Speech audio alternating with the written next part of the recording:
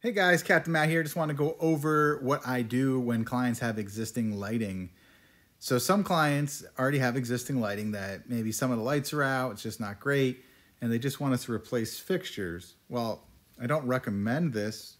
It is something that some people want to do for budget reasons. The reason I don't recommend it is because replacing the fixture, I can't warranty that fixture because we're just using the existing wiring, the existing transformer. We don't know what kind of shape the wire is in, underneath the ground, the connection points, etc. However, I just want to go over this with you. So as you can see here, um, well, maybe if you can read my mind, but you know, this client has like a pool and a, and a hot tub and a rock wall. So basically I'm just mapping out what they currently have, right? So in this right here, they have four up lights, four path lights, one well light, and two special lights that they have on one of their fences. Now that special light is just meaning it's not a normal light. It's a it's a specialized fixture. Um, and this is the same house. We just keep going because I can't fit them all in one thing. So I kind of phase it out in my head. What is going to be what? So um, you know, back here they have three path lights and three up lights.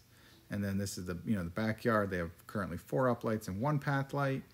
And then I just make a total current of what they have, right? So what this client had was eight uplights. However, four of those were not lit, meaning four of them were were broken.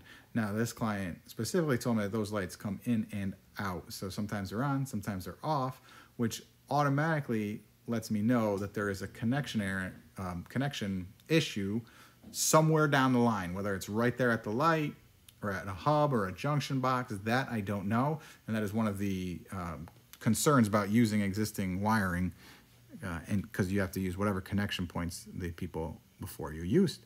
And anyway, I just wanted to quick show you uh, one of these maps of um, you know existing lighting when we're looking to either replace or enhance what they currently have.